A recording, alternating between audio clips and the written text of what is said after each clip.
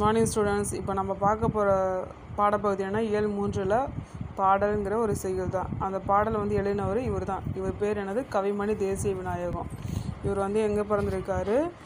கன்னியாகுமரியில் இருக்கிற கன்னியாகுமரி மாவட்டத்தில் தேரூர் அப்படிங்கிற பிளேஸில் வந்து பிறந்தவர் தான் இவர். இவரோட பாட்டு எல்லாமே இனிமையாகவும் கேட்குறதுக்கு ரொம்பவே இனிமையாகவும் எளிதாக புரிஞ்சுக்கிற மாதிரி இருக்கிறனால தான் இவர் என்னென்னு பண்ண ஒரு பட்டம் சுட்டினாங்கன்னா கவிமணி அப்படிங்கிற பட்டம் வந்து இவர் வாங்கினார். இவர் வந்து நிறைய குழந்தை பாடல்கள்லாம் எழுதியிருக்காரு. அந்த குழந்தை பாடல்களில் ஃபஸ்ட்டு தலைப்பில் இருக்கிற பாடப்பகுதி தான் இந்த பாடல். நம்ம க பாடப்பகுதியில் இருக்க கடலுங்கிற ஒரு பாட்டு. பாருங்கள் அந்த கடலுங்கிற ஒரு பாட்டோட மீனிங் என்னன்னு ஃபஸ்ட்டு பார்த்துடலாம் பாடலோட பொருள் பாருங்கள் அதுக்கு முன்னாடி ஏழு மூன்றில் கற்றல் நோக்கங்கள். இந்த லெசன் மூலமாக நம்ம என்ன கற்றுக்க போகிறோம் அப்படிங்கிறது ஃபஸ்ட்டு கொடுத்துருக்காங்க. இயற்கையை பாதுகாக்க வேண்டும் என்ற உணர்வை பெறுவர். இயற்கையை வந்து பாதுகாக்கணும் அப்படிங்கிற வந்து உணர்வு வந்து இந்த பாடம் மூலமாக பெறுவாங்க. பழமொழிகள் அவற்றின் ஆழமான பொருளை உணர்ந்து பயன்படுத்துவர். பழமொழியோட கருத்தை வந்து உள்வாங்கி அதை அவங்களோட வாழ்க்கையிலையும் பயன்படுத்துவாங்க. புதிர்கள் விடுகதைகள் உருவாக்கும் திறன் பெறுவர். புதிர் போடுறது விடுகதை போடுற சொல்கிறது திறனை வந்து இந்த பாடப்பகுதி மூலமாக பெறுவாங்க. எழுவாய் செயற்படு பொருள் பயனிலை அறிந்து கொள்வார் எழுவாய் எது? செயப்பட பொருள் எது? பயனிலை எதுங்கிறத ஒரு வாக்கியத்தில் தெரிஞ்சுக்கொள்வாங்க. பாருங்கள் ஃபஸ்ட்டு லெசனுக்கு போனால் பாடலில் கடலுங்கிற பாட்டு வந்து கவிமணி தேசிய விநாயகன பாடல். இது குழந்தை பாடலில் ஃபஸ்ட்டு பாட்டாக இருக்குது. ஃபஸ்ட்டு கடல்னாவே எப்படி இருக்கும்? ரொம்ப விரிஞ்சு பெருசாக இருக்கும். பார்க்குறதே எப்படி இருக்கும்? ரொம்ப அழகாக இருக்கும். அந்த வானமும் அந்த வா கடலில் இருக்கிற தண்ணியும் எப்படி இருக்கும்? ஒரே லெவலில் இருக்கிற மாதிரி இருக்கும். பார்க்குறதே ரொம்ப சூப்பராக இருக்கும். அந்த கடல்லேருந்து வரக்கூடிய அலைகள் வந்து எழுப்பக்கூடிய சவுண்டானது ரொம்பவே என்ன ச சத்தமாக இருக்கும். அது வந்து இடியிலேருந்து வரதா இல்லை கடல்லேருந்து வரதாங்கிறது நமக்கே ஒரு ஒரு ஐயம் ஒரு டவுட்டு ஏற்படும். அந்த அளவுக்கு என்ன அதோட சவுண்டு வந்து அதிகமான ஒளியில் ஒழிக்கக்கூடியதாக இருக்கும். அலைகள் வந்து வரும்போது பார்க்குறதுக்கு நிறைய குதிரைகள் வந்து ஒன்றா சேர்ந்து வந்தால் எப்படி இருக்கும்? அதே மாதிரி அந்த தோற்றம் வந்து கடல் அலைகள் வந்து நமக்கு கொடுக்கும். கடலில் வந்து நிறைய மீன்கள் வாழ்கிறதுக்கும் முத்துக்கள் விலை உயர்ந்த முத்துக்களும் இங்கேருந்து தான் கிடைக்கிது. இந்த கடல்லேருந்து தான் நமக்கு சாப்பிட்ற வேண்டிய உப்பு அதுவும் கிடைக்கிது. சிப்பிகள்லாம் விளையாடக்கூடிய இடமாவும் இந்த கடல் தான் திகழுது. இந்த கடல் கடலோட வயிற்றில் நிறைய மலைகளை வந்து என்ன பண்ணியிருக்கு? உள்ளடக்கியிருக்கு. அது மட்டும் இல்லாமல் மழை பொழியறதுக்கு கடல் முக்கியமான காரணம். அது மட்டும் இல்லாமல் அந்த கடல் ம மழை நீரை வந்து கடலானது சேமித்து கொள்ளக்கூடிய ஒரு இடமாகவும் திகழுது இதோட பெருமையை வந்து விவரித்து கொள் விவரிக்கிறதுக்கு முடியாத காரியம். அதை பற்றி சொல்லிக்கிட்டே போகலாம் அப்படின்னு சொல்லிட்டு என்ன பண்ணாரு? கவிமணி தேசிய விநாயகர் வந்து இந்த பா பாடல் மூலமாக நமக்கு சொல்லியிருக்காரு. Okay students.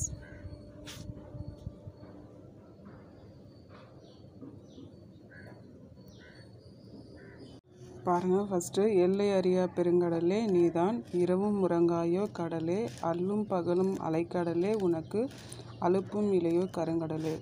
எல் எல்லையே கிடையாது. அதோட அளவு ஏன்னா அதோட கடல் வந்து பறந்து விரிஞ்சிருக்கும். அந்த கடலில் வந்து எப்போதும் என்ன பண்ணக்கூடாது? ஓசை வந்து வந்துக்கிட்டே இருக்கும். அது இரவும் ஓயாது பகலும் ஓயாது.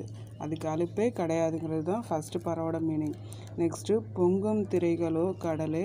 அவை புறவி நிறைதாமோ கடலே. எங்கும் உணதொலியோ கடலே. அஞ்சு இடியின் முழக்கமோ கடலே. கடல் அலைகள் பொங்கி வரும் இல்லையா? அது அந்த அந்த வர்றது எப்படி இருக்குமா? பார்க்குறதே அழகாக இருக்கும். அதுலேருந்து வரக்கூடிய ஒளி வந்து கடல் மூல் கடல்லேருந்து வருதா இல்லை இடியிலேருந்து வருதாங்கிறது நமக்கு என்ன ஒரு ஐயம் ஏற்படும் அப்படிங்கிறது தான் இந்த பாயிண்ட்டோட மீனிங் மலையை வயிற்றெடுக்கம் கடலே எண்ணில் மகர மீனுலவும் கடலே விலைக்குள் முத்தொலிக்கும் கடலே சிப்பி விளையாடற் குதவும் கடலே. இந்த பறவையோட மீனிங் என்னென்னு பார்த்தோன்னா மலையை வந்து அது உள்ளே அடக்கியிருக்கு. அது மட்டும் இல்லாமல் அந்த கடலுக்குள்ளே நிறைய மீன்கள் வாழ்கிறதுக்கும் விலை விலை உயர்ந்த முத்துக்கள் இருக்கிறதுக்கும் சிப்பி விளையாடக்கூடிய இடமாகவும் என்னது? கடல் திகழுது அப்படிங்கிறது தான் இந்த பாறாவோட மீனிங் நெக்ஸ்ட்டு மலைக்கு மூலமும் நீக்கடலே அதை வாங்கி வைப்பதும் நீக்கடலே வலுத்து மகிமையெல்லாம் கடலே எவர் மதித்து முடிக்க வல்லார் கடலே. மழை பெய்யறதுக்கு ஒரு ஒரு இதாக இருக்குது ஆதாரமாக இருக்கிறது எதுன்னு பார்த்தோன்னா கடல் தான். அந்த அது மட்டும் இல்லாமல் அந்த மழை நீரை சேமித்து வைக்கக்கூடிய ஒரு இடமாகவும் இந்த கடல் வந்து திகழுது. இதோட பெருமையை வந்து விவரித்து சொல்கிறதுக்கு யாரும் யாரும் இந்த உலகத்தில் வல்லவர்கள் இல்லை அப்படின்னு சொல்லிட்டு என்ன பண்ணுறாரு இந்த பாடல் மூலமாக கவிமணி தேசிய விநாயகம் வந்து சொல்கிறாரு ஓகே ஸ்டூடெண்ட்ஸ் இப்போ இந்த பாடலை பார்ப்போம். இயல் மூன்றில் கடலுங்கிற பாடல். பாருங்கள் எல்லை அறியா பெருங்கடலே நீதான் இரவும் உறங்காயோ கடலே. அல்லும் பகலும் அலை கடலே.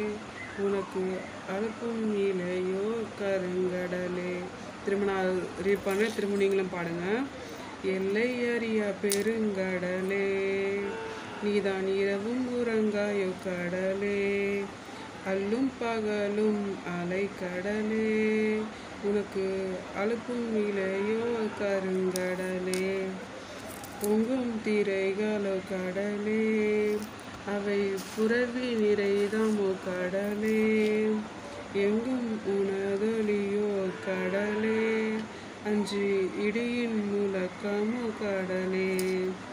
பொங்கும் தீரைகளோ கடலே. அவை புறவி நிறைதம் கடலே? எங்கும் உனதொலியோ கடலே? அஞ்சு இடியின் முழக்கமோ கடலே? மலையை வைச்சிடக்கம் கடலே? என்னில் மகர மீனுலவும் கடலே? இலைக்கொள் முத்தளிக்கும் கடலே? சிப்பி விளையாடற்குதவும் கடலே? மலைக்கு மூலம் நீ கடலே. அதை வாங்கி வைப்பதும் நீ கடலே. வளர்த்து மகிமை எல்லாம் கடலே. எவர் மதித்து முடிக்க வளார் கடலே. மலைக்கு மூலம் நீ கடலே. அதை வாங்கி வைப்பதும் நீ கடலே. வழுத்து மகிமை எல்லாம் கடலே. எவர் மதித்து முடிக்க வல்லார் கடலே. ஓகே ஸ்டூடெண்ட்ஸ் நீங்கள் திரும்ப ரீட் பண்ணி பாருங்கள் அதே பாட்டாகவும் பாடி பாருங்கள்